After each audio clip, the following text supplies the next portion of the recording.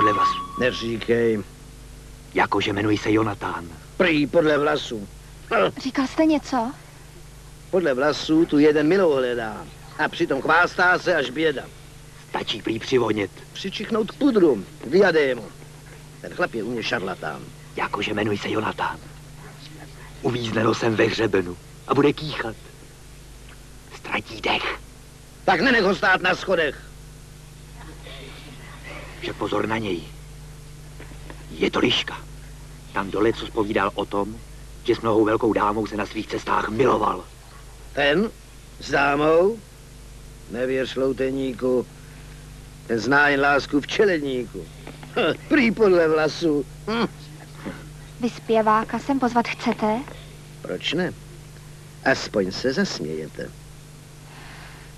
Já bych se raději nezasmála být vámi.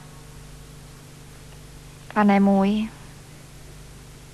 A muži.